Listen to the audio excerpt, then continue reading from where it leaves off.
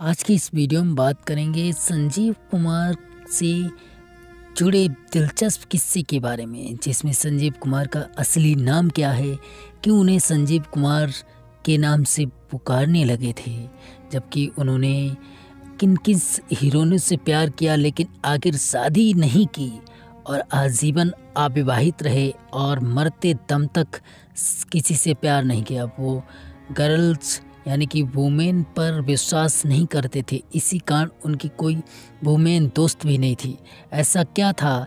जानेंगे इस वीडियो में। तो बने रही मेरे साथ। चैनल को शेयर, लाइक और सब्सक्राइब ज़रूर करें और अपना सुझाव कमेंट बॉक्स में ज़रूर छोड़िएगा।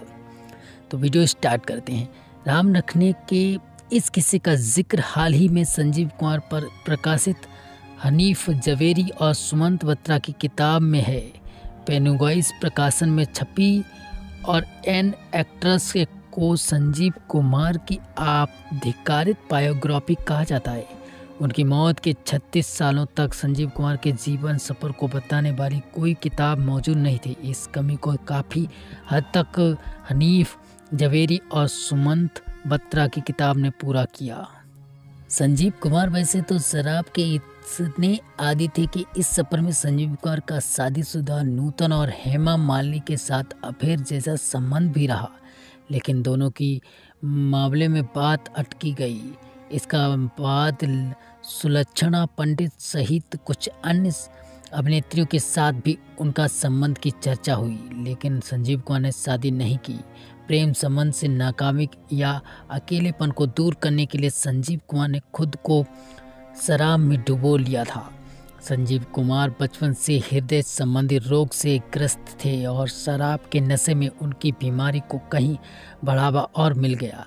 करियर के चमकते दौर के महज सैंतीस साल की उम्र में उन्हें पहली बार हार्ट अटैक आया, लेकिन उन्होंने अपनी जीवन शैली से कोई भी बहुत बदलाव नहीं किया।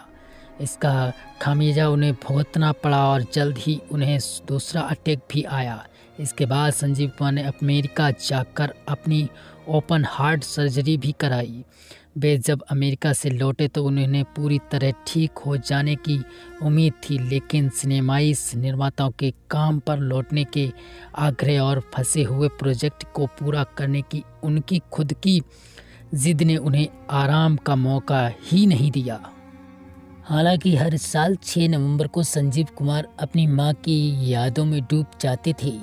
6 नवंबर 1980 को उनकी माँ का निधन हो गया था और इसके बाद वे महज पाँच साल ही रहे पाए बीमारी का सामना करते हुए और लगातार फ़िल्मों में काम करते हुए।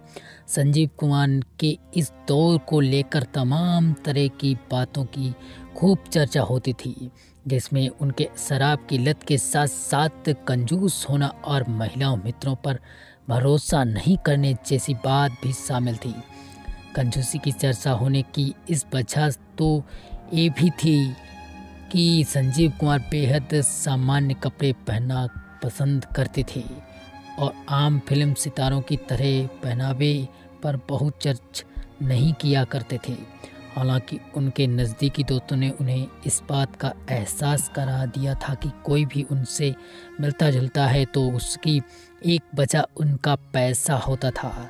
इस पर संजीव कुमार ने थोड़ा बहुत यकीन कर लिया था और जीवन के आखिरी सालों में वे जल्दी दूसरे के साथ नहीं खुलते थे।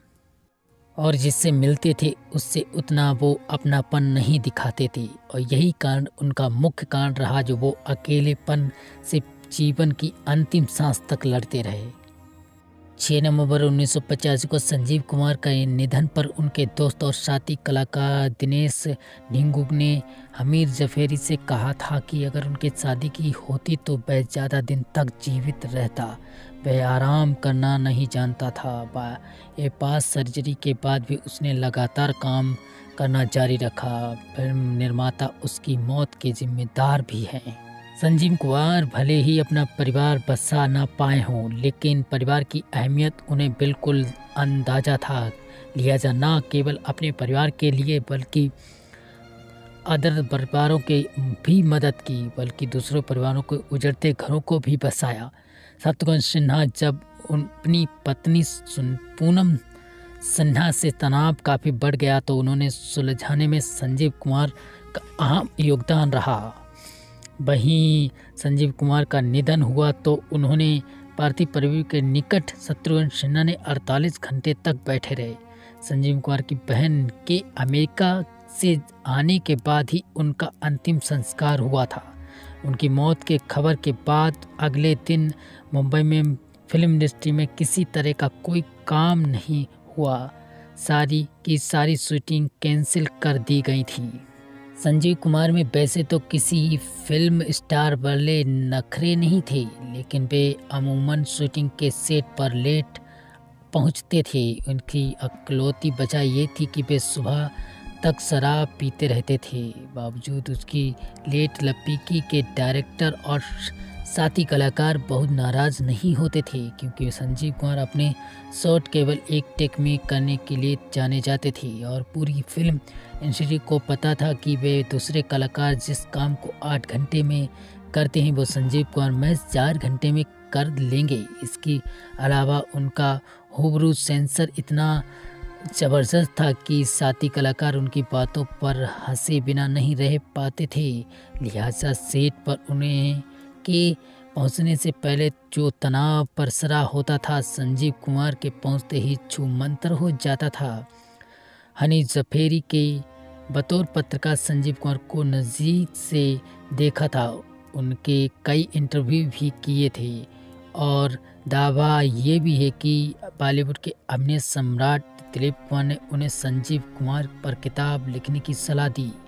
जब वे सामग्री जुटाने लगे तो उन्हें संजीव कुमार के एक दूसरे प्रशंसक सुमंत्र बत्रा का पता चला और फिर दोनों ने मिलकर एक ऐसी किताब तैयार की जिसमें संजीव कुमार के जीवन की पूरी डिटेल मिलती है।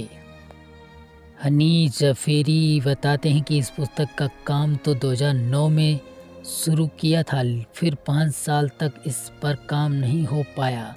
जफेरी वाला फैमिली की अपनी कुछ वजह थी, लेकिन इसके बाद मैंने संजीव कुमार को जानने वाले करीब 150 लोगों से इंटरव्यू किए। वक्त चाहे जितना भी लगा हो, लेकिन हम लोगों ने मुकम्मल किताब तैयार की, जो आज आप लोगों की समझ उपस्थित है। तो मिलते हैं अगले नेक्स्ट वीडियो में, तब तक के लिए अपना और अपनी फैमिली का ख्याल रखना। चैनल को शेयर लाइक सब्सक्राइब ज़रूर करें। अगर आपके पास कोई सुझाव हो तो कमेंट बॉक्स में ज़रूर लिखेगा और हाँ अपना फेवरेट सिंगर एक्टर और फ़िल्म ज़रूर बताइएगा। संजीव कुमार के बारे में आपकी राय क्या है तो कमेंट बॉक्स में ज़रूर लिखेगा। जय हिंद।